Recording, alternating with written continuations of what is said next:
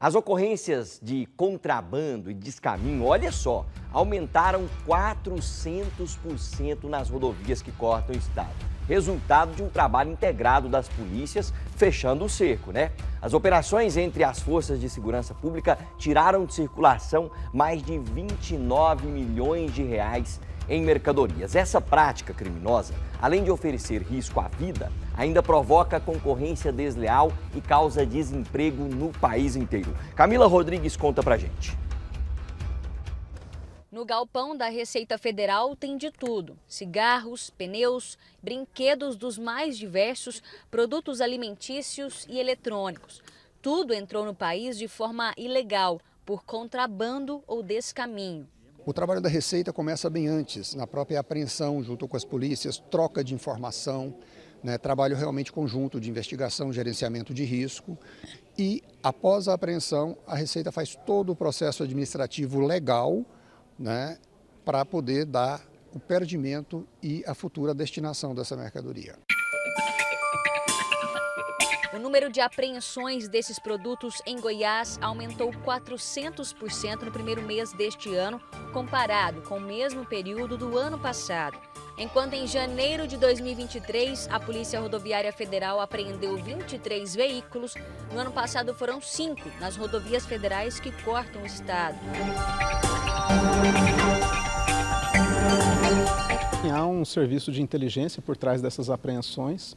Esse serviço é muito bem realizado, inclusive com a parceria de outros órgãos, como a Polícia Militar, a Polícia Civil, toda, todas as, as forças policiais de segurança pública de Goiás e com a Receita Federal.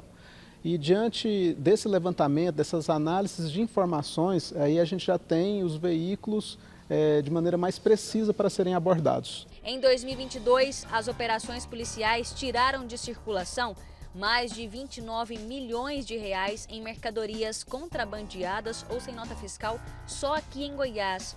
No Brasil, as apreensões foram na casa dos 3 bilhões de reais em produtos ilegais. Goiás está na região central do país e os criminosos utilizam essa posição estratégica no mapa para dois objetivos: usar como rota de transporte para outros estados e como centro de distribuição. A maioria das mercadorias que entra no país sai do Paraguai. Daqui sai para o sudeste do país, norte, para todas as regiões. Como eu disse, Goiás é um entreposto logístico né, e distribui, inclusive até Nordeste também é, é, é, é um grande foco de distribuição. Estradas estaduais e vicinais também são usadas por contrabandistas e por isso a Polícia Militar atua com batalhões especializados. As operações são feitas pontuais, de acordo com as zonas de criminalidade em todo o estado. Então nós trabalhamos sempre é, é, tentando antecipar o crime, tentando antecipar. Essa modalidade nossa vem trazendo grandes resultados.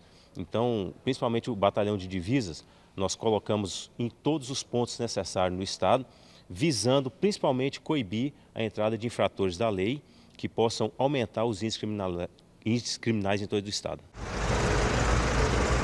No começo do ano, essa carreta abarrotada de pneus foi apreendida em Itumbiara. A carga, comprada sem o recolhimento de impostos, foi avaliada em mais de um milhão de reais. Esses outros três veículos também foram apreendidos pela PRF no sul do estado. Dentro dos carros, produtos contrabandeados e sem nota fiscal. Tudo é levado para a Receita Federal e cada item tem um destino.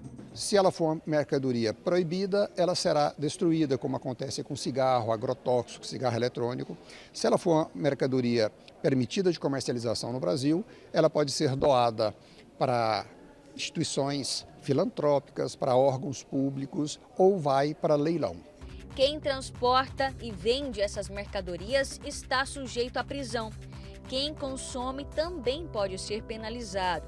Os crimes de contrabando e descaminho geram prejuízos diretamente para a população. Cada mercadoria ilegal que uma pessoa adquire, ela está prejudicando a economia nacional. Ela está incentivando uma concorrência desleal e está causando desemprego em nosso país. Então a gente pede a conscientização da população. Se nós queremos um Brasil melhor, cada um tem que fazer a sua parte.